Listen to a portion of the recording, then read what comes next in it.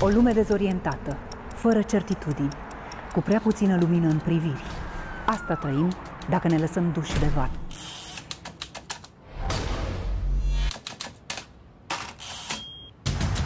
Există însă oameni care știu și pot să se împotrivească valului, să rupă ritmul, să ne trezească, molipsindu-ne cu ideile lor proaspete, îndrăznețe, uneori obraznice.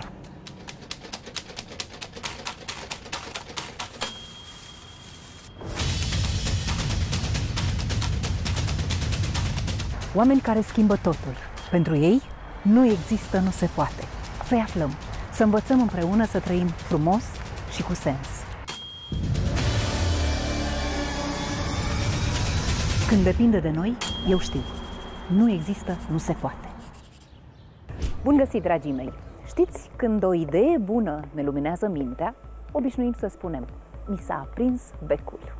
Când speranța noastră e vie, vedem în depărtare lumina de la capătul tunelului.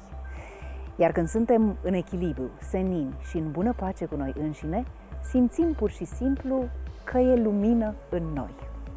Când găsim în sfârșit răspunsul la căutările noastre, după ce am străbătut o lungă cale, e ca și cum s-a aprins o scânteie și ea înflorește apoi în lumină plină.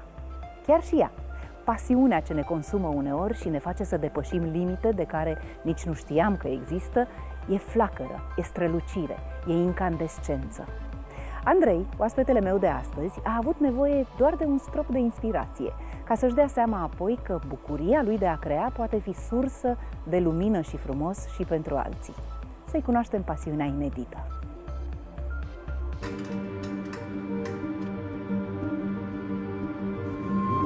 Sunt Andrei Ignea și sunt designer de obiect.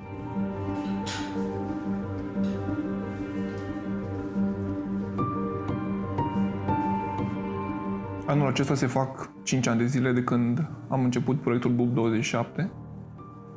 A fost totul ca o joacă la început. Mi-am dat seama că în apartamentul în care stăteam aveam nevoie de câteva obiecte care să-mi însuflețească acel loc și am zis că s-ar merita să încerc cu un obiect de iluminat.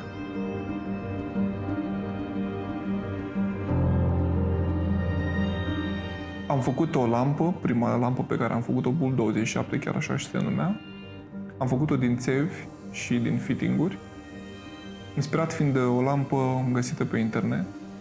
În acea perioadă era la modă, steampunk și designul industrial intra pe piața românească. Mi-am zis că mi-ar plăcea să am o lampă făcută în stilul meu, o interpretare a lămpii respective. Era o lampă Cozo. Mi-am făcut lampa respectivă, mi-a plăcut foarte mult cum a ieșit. Am fotografiat-o și am avut inspirația să o trimit la un concurs. Ulterior am aflat că este un concurs, de fapt. Am trimis-o, am trimis fotografiile cu rampa respectivă și am luat premiul întâi. În acel moment am fost motivat să suma respectivă să o investesc în alte obiecte. Căutam tot felul de piese nu știam ce îmi cade pe mână, nu știam cu ce o să mă întâlnesc. Era totul ca o experiență nouă de fiecare dată, în fiecare duminică dimineața. Mergeam cu gândul, astăzi ce găsesc, astăzi ce îmi pică în mână. În momentul în care intru în atelier, tot ce e în afara ușii atelierului rămâne acolo. Aici am posibilitatea să, să mă manifest, am posibilitatea să mă exprim liber. Mi este mult mai ușor să lucrez cu materialul brut, cu metal, cu lemn, decât să lucrez cu, cu oameni câteodată. Pentru că e, el să răspunde sincer. Materialul brut, materialul dur îmi răspunde sincer și îmi dă posibilitatea să-l să duc în ce direcție vreau eu. În colecția Caractere, făcută din litere din reclame vechi românești. Este la început și este o colecție ce îmi dă o satisfacție pentru că văd mereu locuri uitate, caut mereu locuri uitate. Vizitez orașe, asta mă forțează să vizitez orașe, efectiv. Merg într-un oraș nou mai mare sau mai mic, mă plimb pe străzi în căutarea literelor. Toată căutarea asta e ca o căutare de comori. Toată căutarea pe licitațiile online, pe, pe eBay sau pe unde intru, este o căutare de comori. Procesul de lucru nu este doar execuție sau prelucrare de material sau parte electrică. Cred că 50% din, din toată activitatea pe care o am ține de căutări, efectiv căutări. Sunt obiecte care se pierd. Intenția mea cu, cu, cu aceste obiecte este să le, să le păstrez, chiar dacă intervin în ele, forma lor rămâne, însă le schimb funcția. Din obiect industrial folosit în industria textilă, să ajungă un obiect sau o bază pentru un obiect de iluminat. Toate obiectele pe care le fac au o poveste.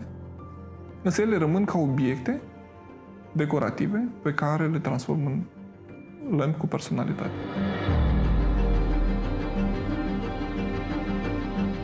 Sunt o persoană bazată pe varietate. Îmi iau varietatea din experiențele vizuale pe care le trăiesc.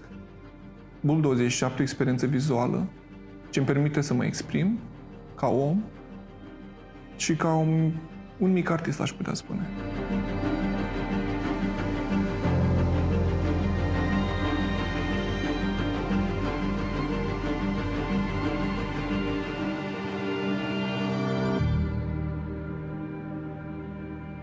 Bun venit, Andrei! mă bucur tare mult că ești aici și trebuie să spun că e probabil una dintre poveștile cu adevărat inedite pe care le avem în studioul Nu există, nu se poate și chiar mă gândeam la vorbele astea, ți se potrivesc foarte bine. În sensul că nu te-ai pregătit toată viața pentru asta sau pare că nu te-ai pregătit pentru asta, Însă dacă există scânteia aceea care se aprinde la un moment dat, cine știe cum, uneori vine de sus, uneori uh, e ceva foarte palpabil, chiar nu există, nu se poate, nu-i așa? Viața ta s-a schimbat total datorită se acestei pasiuni. Așa, da. Toată experiența mea e o joacă și am mers din joc în joc. Nu pot să spun că a fost schimb, au fost schimbări majore în viața mea, ci pur și simplu m-am lăsat ghidat după după cum au mers lucrurile, după voia întâmplării. Te-ai luat după semnele arătate după, de... Cred că da, cred că nu? după semne, da. Am mers pe sfatul tatălui meu să fac ce îmi place și să fac bine ce îmi place și lucrurile au de, de curs firesc. Bun sfat. Există o vârstă la care trebuie să ne oprim din a visa nu și din a cred. schimba ceea ce nu ne place, îndreptându-ne sau îmbrățișând ceea ce ne face să simțim cu adevărat că trăim? Nu cred că ține de vârstă, nu cred că ține de, de un timp dat până la toată urma. Fiecare vârstă are uh, surprizele ei și fiecare vârstă aduce lucruri nemai întâlnite. Um, de exemplu, toată pasiunea cu, cu lămpile și cu corpurile de iluminat a început, uh, a început în, în clasa a 4 a 5 -a. Dar lucrul ăsta mi-am dat seama destul de târziu, undeva pe la 30 de ani mi-am dat seama că de acolo a pornit pasiunea, făcând uh, la clubul copiilor, făcând uh, aeromodele și rachetomodele. Nu aveai la vârsta aceea uh, clar viziunea de a face conexiuni, nu, vis-a-vis de viitorul tău. Erai prea fraged, să Eram spun destul așa. de mic, dar uh, aveam plăcerea de a lucra cu mm, materia primă, cu... Încă de atunci. Încă de atunci, da, cu lemnul, uh, mirosul de lemn șlefuit, uh, hârtia cerată întinsă peste aripi sau nervuri sau... Da, a fost, am fost fascinat de mic. Vezi, până la urmă, totul pornește de la simțurile noastre. Cu siguranță. Uh, dacă ar fi să închizi ochii așa și cu ochii minții să te întorci în copilăria ta. Ehm, ce miresme ți amintești? Ehm, simțul tactil, ce te făcea să atingi cu plăcere? Ce texturi? Ehm, gândește-te puțin la simțuri, așa cum le percepeai atunci, ca și copil. Cred că mirosul de lemn șlefuit, mirosul de, de praf, de rumeguș, de, iar tactil, lemnul finisat. De exemplu, noi în, uh, în Fălticeni, la Clubul Copiilor, de unde... Deci unde ești am, din Fălticeni. Eu sunt din Fălticeni, da, și stabilit în 2006 în, în Iași. Um, la Clubul Copiilor aveam bugetul care era alocat pentru, pentru acea secție și eram fascinat când ajung... Secție de? Aeromodele și rachetomodele. Și navomodele de erau oarecum separați. Um, să ajungem în posesia unui lemn de balsa, un lemn foarte ușor, era pentru noi o minune. Adică lucrând cu materiale care se găseau atunci la noi, nu erau magazine de bricolaj, eram fascinați, eram toți să atingem lemnul, să atingem. Și de atunci, nu cred că de atunci, cred că de când ne naștem avem înclinații spre tactil, spre olfactiv, dar uh, cu, cu plăcerea asta de a atinge obiectele, oricare ar fi ele, am rămas. Să, să simt cum a fost lucrat, să simt cât, uh, cât de mult s-a plecat creatorul asupra acelui obiect, îl simt din, uh, din, din, din degete, din tactil. Dar totul pornește de la marele creator, de fapt, de la natură. Cu siguranță. Cum percepeai natura, odinioară? Ai trăit într-un oraș mic. Într-un oraș mic. Într-un oraș mic și găseam plăcere în natură și asta mulțumită părinților. Cel puțin cu tatăl meu mergeam după plante medicinale și străbăteam dealurile din, uh, din prejurimi. Um, am avut apropierea aceasta și bunicii și la ei am găsit această uh, plăcere de a, de a, de a interacționa cu natura. Iar, iar la tatăl meu nu mai zic că era nebunie să intru la el în atelier, când a făcut mai târziu, când a avut garajul, dar avea tot felul de cutii, cutiuțe cu șuruburi, de, de toate felurile și acum e aceeași, același lucru se întâmplă. Și, într-adevăr, eram un... Deci ce făceau părinții tăi? Tatăl tău, spui, avea un garaj, da? Un garaj, un atelier pe care ulterior l-a dezvoltat într-un atelier. Mama picta obiecte din sticlă, la fabrica de sticlă din, din Fălticeni din acea, din acea perioadă. Um, și tatăl meu era pe, pe partea de... Era, tatăl meu este inginer la bază, după care și-a dezvoltat propriul business, a mers pe, pe partea asta de sticlărie. Întotdeauna mă fascinează rădăcinile unei pasiuni, unei întâmplări care înflorește mai târziu în viață. Cu siguranță acolo în copilărie există o sămânță, chiar dacă nu e ușor de văzut la prima vedere. Pentru unii oameni schimbarea e majoră. Realmente sunt alți oameni la maturitate, după o astfel de schimbare de macaz, față de cum erau în copilărie. Dar acea sămânță, cu siguranță, e undeva pierdută în copilărie, poate doar nu ne aplecăm destul mhm. asupra ei. Siguranță.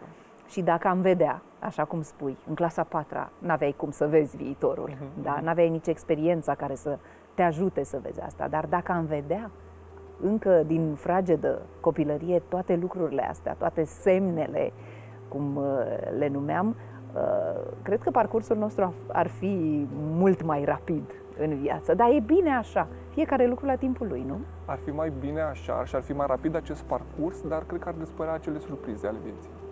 Dacă știam de mic că vreau să fac lămpi, să ajung să creez lămpi, probabil n-aș fi făcut facultatea de comunicare și relații publice. Probabil n-aș fi întâlnit oamenii pe care am întâlnit probabil n-aș fi făcut liceul de matematică informatică. Mergeam pe un uh, liceu profesional până toată urma. Dar ce distanță?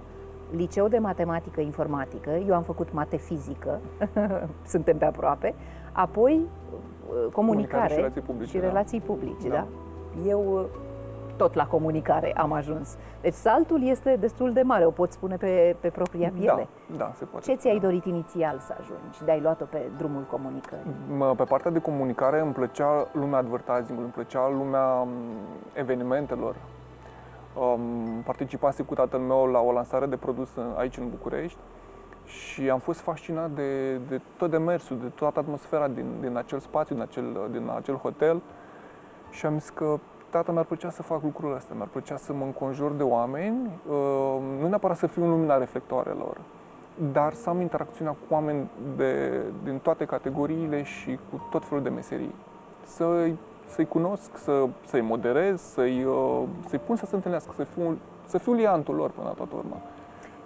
Până la urmă ești liant. Și până la urmă sunt liant. decât poate ți-ai propus da. la vremea aceea. Da, sunt liant și asta o fac în ultimii ani când uh, Mm, dacă nu mă ocup de pasiunea mea, filmez și fotografiez oameni cu alte pasiuni sau, da, cu diverse alte pasiuni. Aș vrea însă să știu ce mastere ai urmat. Două mastere, da? Două, da? În același da. timp. Da. A fost uh, masteratul de relații publice și publicitate din cadrul facultății Alexandru Ancuza și în același timp masteratul de, de foto-video de la Georgenescu, de la Universitatea Georgenescu. Uh, predai la universitate astăzi. Da. Ce anume? Da. Fac cu studenții de la litere, fac fotojurnalism cu ei. Cu studenții din anul 3 fac fotojurnalism. Și pregătești un doctorat? Doctorat a fost, o, a fost cu semnul întrebării la doctorat Așa. pentru că este singurul lucru pe care l-am pus în așteptare în viața mea, la care nu neapărat că am renunțat. În anul 2 de doctorat da. era perioada când lucram la intens la lămpi. Asta cred că era în 2000. Te prinsese această exact. pasiune. Și atunci am stat și m-am gândit, este pentru mine partea asta de cercetare? Să, să stau printre cărți, să stau la simpozioane, colocvii, să mă întâlnesc cu oameni pe direcția asta, cu academicieni, să lucrez în domeniul respectiv. Și mi-am dat seama că în timp ce lucram la, um, nu neapărat la teza de doctorat, la diverse lucrări științifice, gândul meu era cum sudez următoarea piesă, cum ajung um, pe licitații cât mai repede, cum... Gândul meu era în tot în alt loc. Eram pe eram pe, pe partea de design și mi-am dat seama că n-aș putea să mă blochez într-un, într-un birou. Interesant e că pornind de la o simplă amenajare a apartamentului în care tu locuiai, ai descoperit această pasiune încercând să faci cu mâna ta ceea mhm. ce uh, vedeai ca inspirație în alte locuri și n-ai mai ieșit din poveste. ai pășit în ea, te-a prins atât de bine, ai mai adăugat un uh, ingredient, să spun așa, acel vizual uh, puternic, uh, lumina. Uh-huh. Uh, cum definești lumina? Hmm. Lumina este instrumentul cu care lucrez. Lucrez atât pe lămpi, cât și pe fotografie, cât și pe video. Și asta le spuneam și studenților zilele trecute. Pe temă, aveau un eseu de fotografic de făcut, eseu în care se surprinde pasiunea din oameni.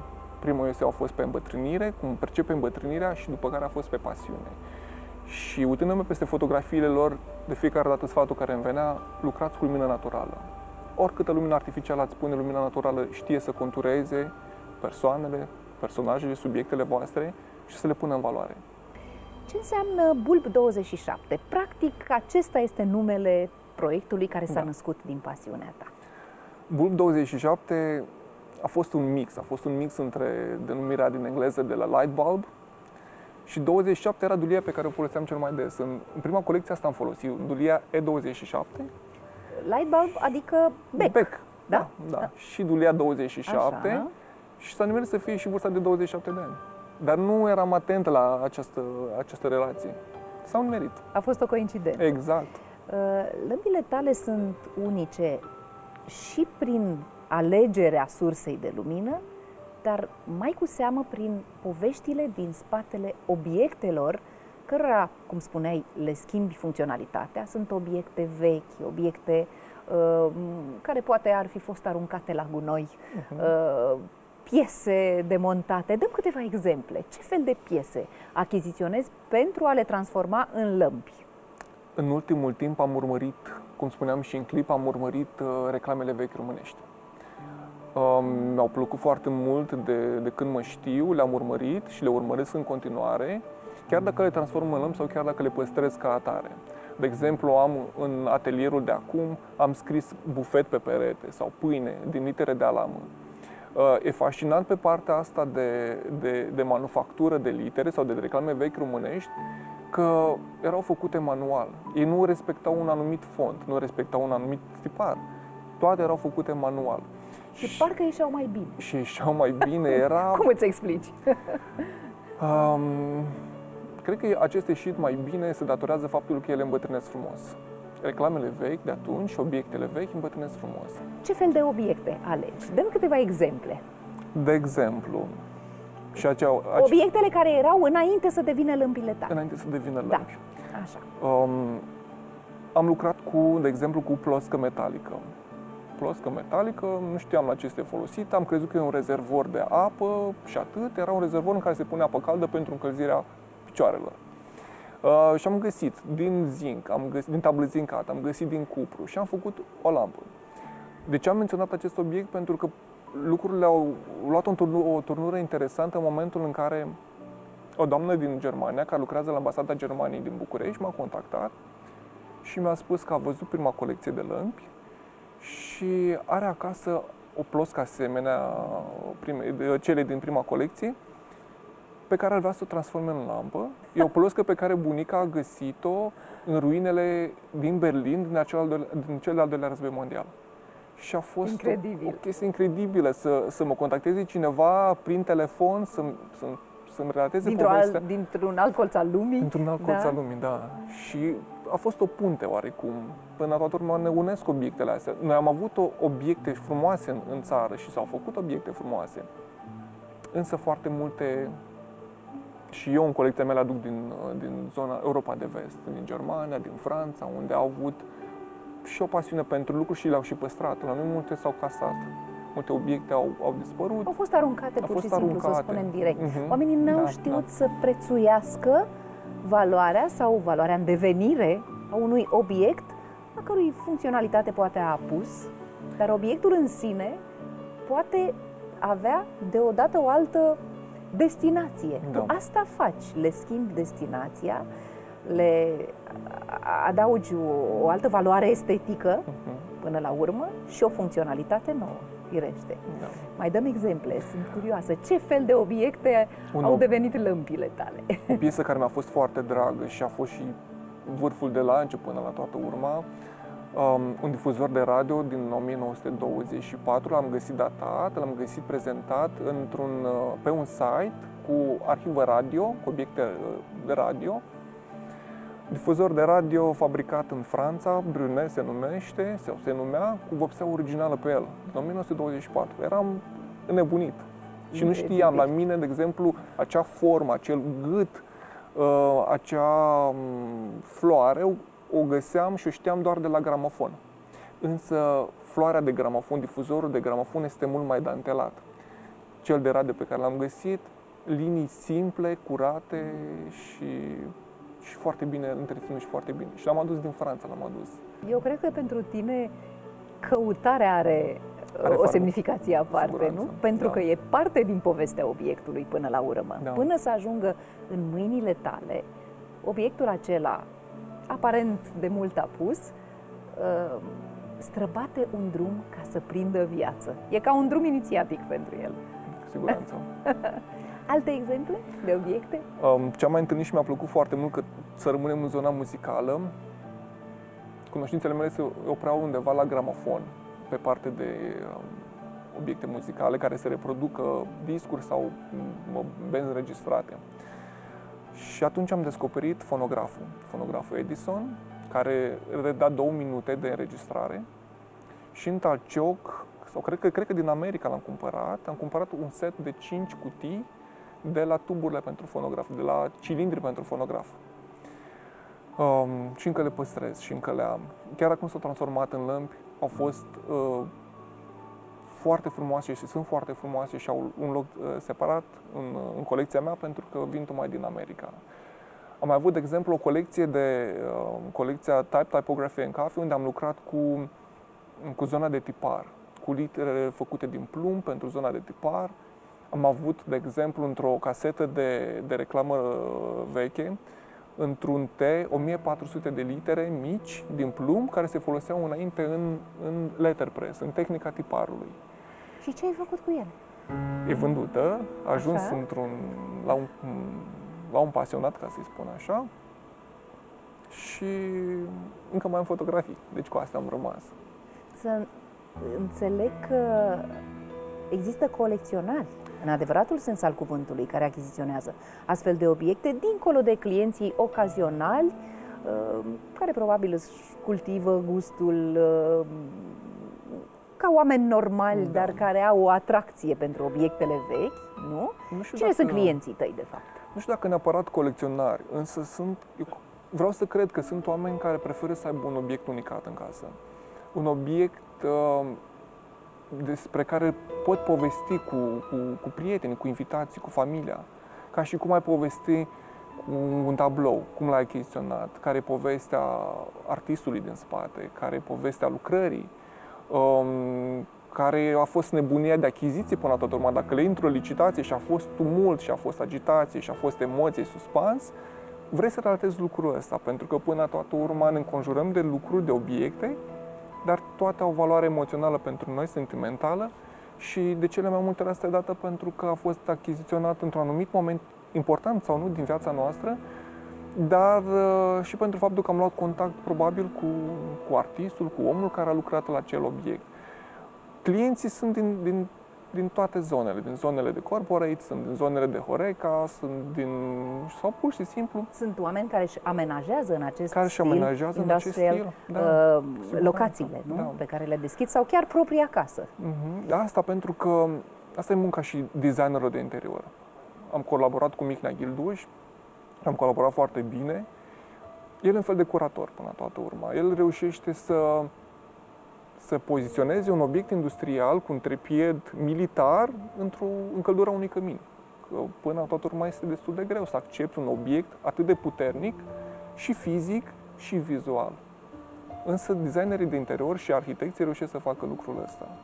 Și mi se pare foarte interesant. Uh, poate că nu oricine vede la fel, dar pe mine mă impresionează vremea tulburătoare prin care a trecut un obiect. De exemplu, un trepied militar, cum spui, din cel de-al doilea război da. mondial. Ce a trăit acel obiect, ce a văzut, ce a auzit, desigur e o metaforă, uh-huh. da? Mhm. A trăit niște vremuri și niște frământări. Și i-a adus în prezent, e readus la viață, să spun așa, în prezent, uh, găsindu-și pacea și aducând lumină. E o metaforă frumoasă care ne spune că de fapt nimic nu e așa cum pare la un moment dat. Că există posibilitatea schimbării și în noi, și în tot ceea ce vedem în jurul nostru, fără suflare neapărat, dar care are un suflet, știi? Orice obiect are un suflet al său până la urmă. Și cred că e o frumusețe aparte să trăiești printre obiecte care au o istorie, care vin încărcate de o energie, cred în asta, cred în energia lucrurilor din jurul nostru. Te-ai întrebat însă vreodată dacă nu cumva energia acelor obiecte vechi uh, aduse în prezent poate nu e întotdeauna una bună? Dacă energia corpurilor, dacă energia da. obiectelor, nu m-am gândit niciodată dacă ar fi bună sau rea. M-am gândit la faptul că a fost dat ca ele să ajungă la mine, pentru că eu am lăsat exact ca energia să curgă, am lăsat ideea, am lăsat ideea că vreau pentru colecția asta obiectele din categoria respectivă și căutările m-au dus exact unde trebuiau. Unde găsești cele mai, sau cea mai bună sursă de astfel de obiecte vechi, ce sunt materie primă pentru munca ta și pasiunea ta? Dacă înainte mergeam în talciocul din Iași, care era destul de ofertant, pentru că lumea scotea la vânzare obiectele pe care le aveau ei și găseam de la sticlărie de laborator până la nu știu ce îmi vine acum în minte, tot felul de piese, tot felul de freze, tot felul de obiecte, chiar și lămpi anti-explozie, lămpi, uh, lămpi industriale, lămpi din zona minieră. Lucrurile s-au cam schimbat, piața s-a... A sărăcit? A sărăcit oarecum, da. De ce? Cum îți explici lucrul ăsta? Pentru că sunt oameni și pasionați, sunt colecționari, sunt oameni care au pasiunea pentru obiectele vechi și vor să le Și le tot pentru, cumpără. Le cumpără pentru ei și n-a fost o piață foarte ofertantă la noi. Uh-huh. Um, și mi-a plăcut, în schimb, când călătoream în afară, când mergeam în țările din afară, să merg, să caut talciocurile, să văd ce programe au la talciocuri și să explorez zona de talciocuri. Și e interesant, uh, interesant uh, relația pe care o ai cu, cu acei oameni care vând, pentru că ei nu fac altceva decât să se elibereze de obiectele vechi, să-și facă loc în casă, spațiu în casă, dar le pun la prețuri modice pentru că caută și partea de socializare. Să discute cu oameni, să povestească și... Nu e un simplu schimb. Nu e un simplu schimb. Nu e un simplu schimb. Nu e un schimb ca în, ca în Orient, nu e un schimb uh, agresiv, un schimb pe, cu tumult, e un schimb de, de povești, un schimb de experiență și parcă ar vrea oamenii ca obiectul care le-a fost lor drag să ajungă la cineva care l-ar prețui la fel. Da, să știe că îi va fi da, bine. Exact. obiectului respectiv. Mi s-a părut foarte interesant și mi-am notat aici, uh, într-un articol despre o lampă a ta specială, Am găsit uh, la început fraza asta. Această lampă parcă ar fi fost furată din laboratorul unui om de știință sărit de pe fix. Dar ingeniosul obiect e creația unui român. mi, se pare, mi s-a părut foarte simpatică uh, sintagma, uh, pentru că e într-adevăr inedit ceea ce faci. Nu e la îndemâna oricui să gândească lucrurile așa cum le faci tu. Uh, există oameni asemenea ție în jurul tău? Există, nu știu, uh, o trupă de mad scientists, cum spunea omul ăsta, uh, te-ai înconjurat de oameni cu care poți lucra, cu care poți crea uh, sau ești de unul singur, pur și simplu? Nu sunt de unul singur și nu am căutat să fiu de unul singur în lucrul ăsta. În pasiunea asta am căutat să cunosc oameni și a fost nevoie să cunosc oameni pentru că nu reușeam să fac toate cele. Nu știam să lucrez cu metalul pe partea de strung, să, să-l prelucrez astfel. Am fost fascinat când am ajuns în Fălticeni, tot menționez Fălticeni, când am ajuns în Fălticeni la un strungar și rotea tot felul de, uh, de rotițe, tot felul de mecanisme ca să-mi facă mie un filet pentru un, pentru un șurub. Am fost nevoie să cunosc oameni și am cunoscut oameni și am cunoscut oameni din, din, din, din diverse domenii și într-un final am reușit să ne, ne grupăm într-un, într-un hub creativ, am avut în Iași un hub creativ cu 13 ateliere, 13 ateliere în care puteai să te întâlnești cu arhitecți, pictori, fotografi, designer de produs, designer de bijuterie, um, restauratori. A fost o lume fascinantă care se desfășura la etajul 2 a unei foste fabri- fabrici de mobile din, din Iași. Hmm. Ce văd aici? Oh, asta e altă nebunie de-a mea. Asta e o sobă veche sau un set de sobe vechi de la conacul uh, Petre Carp din Țibănești. Așa.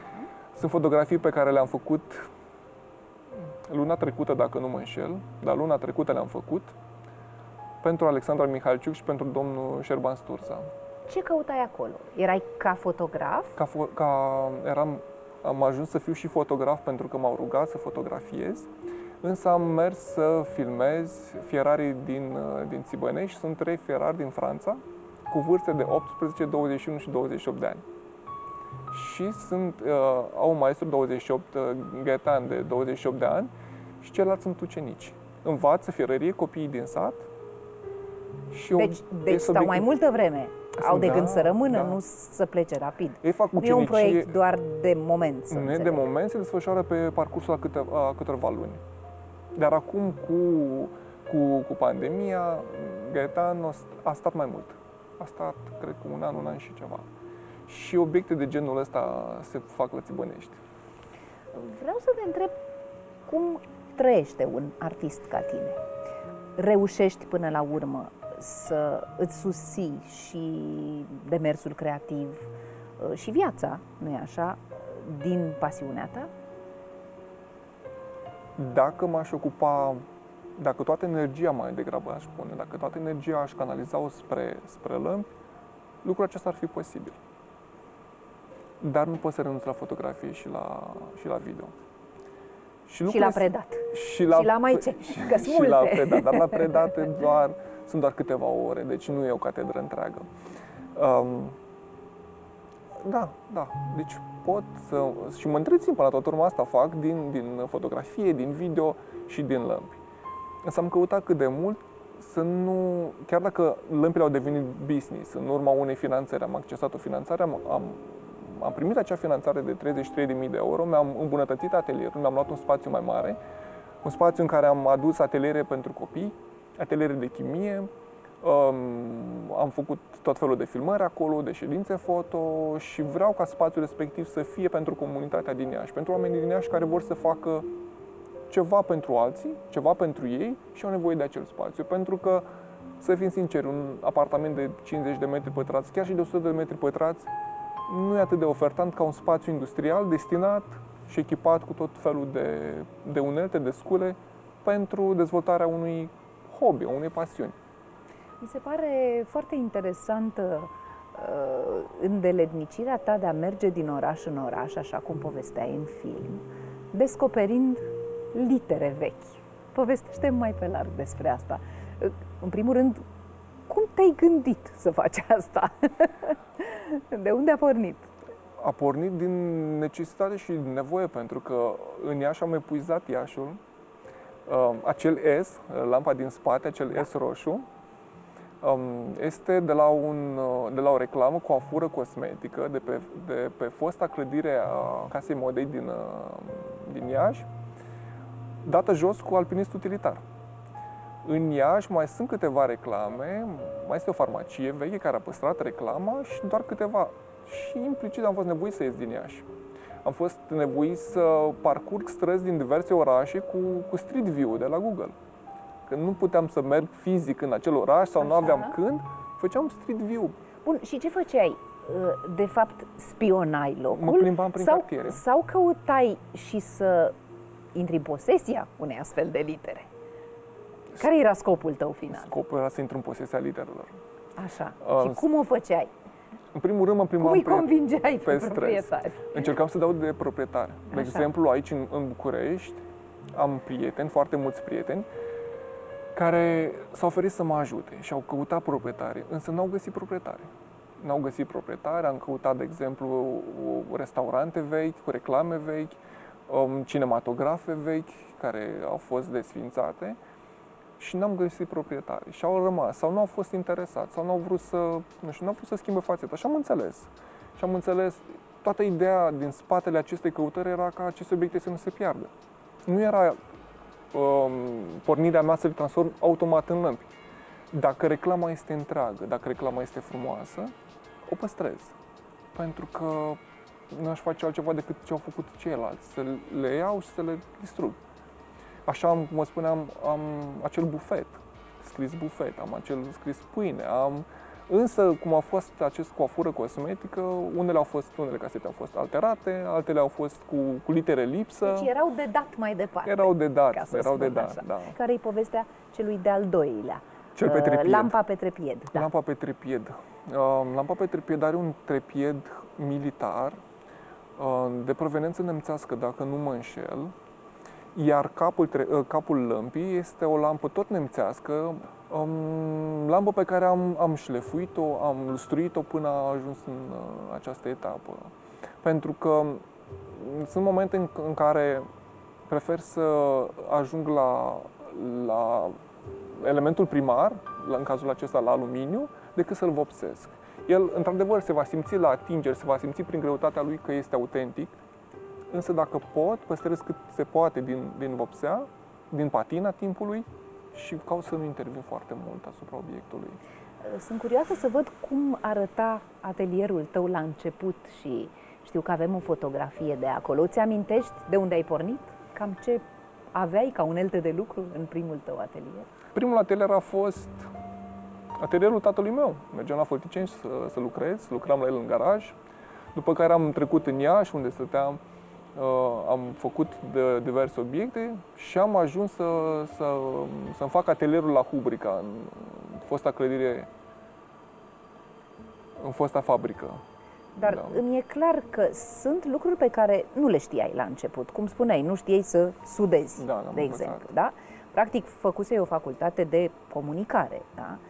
ceea ce înseamnă mai puțin parte tehnică. Uh, știai ceva despre partea electrică? Uh, moștenise așa câte ceva de la tata? Sau cum te-ai descurcat cu uh, acele părți ale muncii tale de astăzi care nu erau acoperite de studii? Niciodată n-am fost un tehnic. Am avut pasiunea de la tatăl meu, am avut pe partea de, um, de circuite, de lipit cu cositor, de cositorit, de um, lucrat cu fludor, mirosul de fludăr topit. Uh, niște lucruri pe care le-am deprins de la tatăl meu și partea de sudură. Amândoi învățam, că tatăl meu nu a fost sudor, tatăl meu nu știa să sudeze, dar amândoi am învățat și a fost, cred că asta a fost un avantaj al meu și faptul că oarecum sunt autodidact. Lucrurile, am avut curiozitate, am avut curiozitatea să învăț dar acum internetul mă oferă tot felul de platforme, tot felul doar de... să pui întrebarea pe internet. Exact, doar întrebarea potrivită. Cum fac asta? Da, și, și internetul apar, te ajută. Da, apar uh, multe exemple video, multe fotografii care te ajută, oricât de nepriceput ai fi, te ajută să înțelegi da. demersul pe care îl cauți. Care a fost prima ta vânzare Îți amintești? Prima mea vânzare... Prima lampă ce, a, ce ți-a adus totuși și această bucurie că a fost valorizată într-un fel. Aveam prima colecție, a fost prima colecție expusă, um, iar prima, prima lampă pe care am făcut a fost și prima cumpărată de mătușa mea din, din Madrid. Am zis că vreau să fiu primul client, să, să am eu acest start. Și peste ani, când vei ajunge să vinzi colecții, să știi că prima e la mine. Bine, bine, aici era vorba de o mătușă. Nu. Prima vânzare adevărată. Prima vânzare adevărată. Prima vânzare, primele vânzări adevărate au fost prin, prin Mihnea Gilduș. El s-a ocupat de vânzări. Au fost vânzări prin casa de licitații, au fost vânzări prin, alături de alte obiecte de artă. Um, dar prin Mihnea din Gilduș el a fost și acel... cea mai bună, să zic așa, achiziție făcută de la tine, cea mai Uh, nu știu, ce, cea mai bine vândută? Cea mai bine vândută este lampa Lil Brunet, este lampa cu difuzorul de radio, care a fost și este o lampă frumoasă. Deci, până la urmă, contează povestea obiectului transformat în lampă, dar contează la fel de mult uh, aspectul estetic da. pe care îl uh, împrumuți prin, prin creația ta, pentru că nu mai e ce era odinioară mm, obiectul respectiv, ci cauți să combini lucrurile astfel încât să devină altceva. O curiozitate până la urmă. Nu? Da. Și care a fost cel mai frumos compliment pe care l-ai primit din partea cuiva în casa căruia a ajuns o lampă ta? Cel mai frumos uh, compliment și a fost și o întâmplare a fost că lampa s-a prăbușit pe podea și nu s-a stricat lampa, s-a stricat parchetul. Deci cu chestia aia am rămas, m-am amuzat, am făcut-o mai, nu neapărat mai sigură, dar am ramforsat picioarele ca să nu mă se plimbe, că a fost o lampă pe tripied. Așa. Iar faptul în sine că, că a rezistat acelui șoc a fost pentru mine ceva, a fost un compliment adevărat. S-a stricat parchetul? Nicio problemă, lampa, lampa e încă vie. e bine, da, lampa rezistă. Îți mulțumesc tare mult, mă bucur că studioul nostru a fost astăzi uh, îmbogățit de creațiile tale.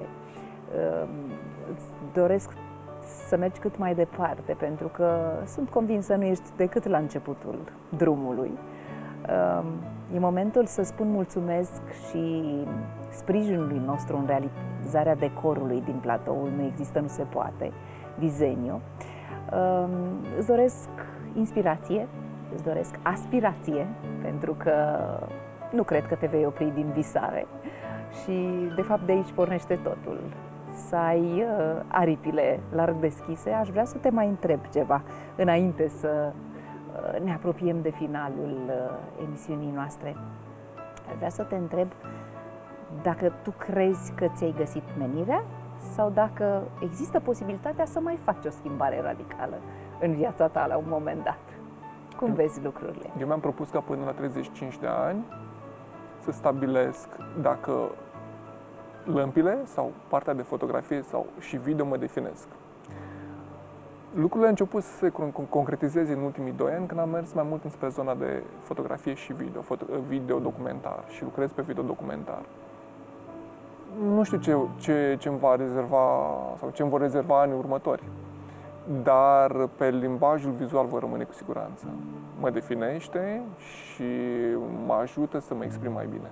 Care sunt subiectele pe care le iubești în documentarele tale? În documentare, um, subiectele sunt oamenii cu pasiuni, sunt oamenii pasionați, cum am găsit Ferrari de la, de la Țibănești, dulgherii care au venit din Franța la Țibănești um, și tot felul de, de, de artiști.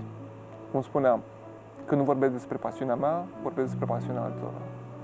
Deci suntem la concurență, să înțeleg. Oarecum. Îți mulțumesc tare mult și, și nu uita că nu există, nu se poate. Cred cu adevărat în, uh, în vorba asta. O să mă adresez acum celor de acasă, căci la fiecare final de emisiune am o întrebare pe care o adresez telespectatorilor noștri ca să le testez fidelitatea. Îi și răsplătesc atunci când răspund corect. Iată întrebarea de azi. Care este numele proiectului ce a înflorit văzând cu ochii atunci când Andrei și-a descoperit pasiunea, menirea? Răspunsul corect are șansa să câștige concursul nostru. Aștept să ne scrieți pe e-mailul nu există, nu se poate, arondtvr.ro până mâine la ora 11, așa că succes, să ne revedem sănătoși și voioși și Nu avem voie să uităm. Nu există, nu se poate. Un gând bun și forța de a străbate viața cu bune sau mai puțin bune, așa cum e ea. E totuși tare frumoasă. Pe curând! Mulțumesc, Andrei! Ce mulțumesc!